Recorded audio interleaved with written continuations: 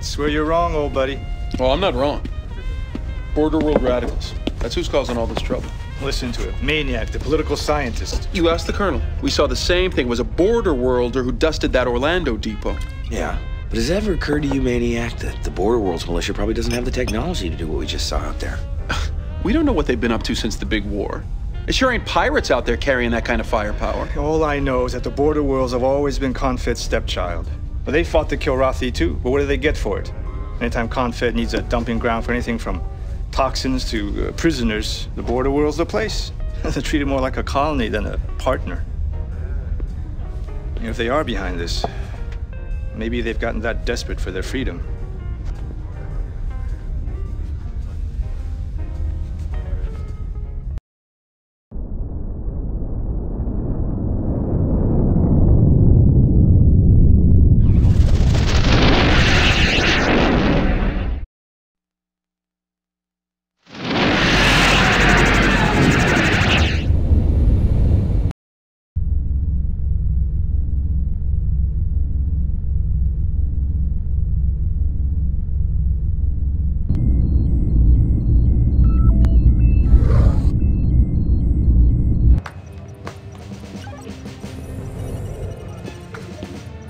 Ah, Colonel.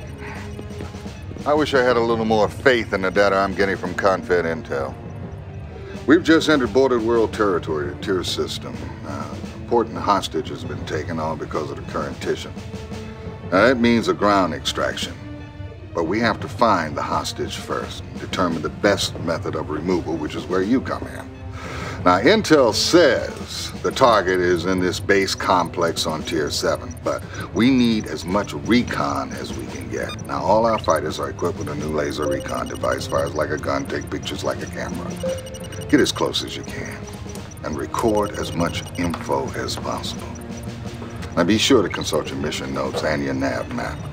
They'll have a few more technical details. Any resistance expected? Well, well, my guess is they aren't going to appreciate snoops with cameras down there. Try to make it a clean operation. We're more interested in recon than kills. All set, Colonel? You bet, Captain.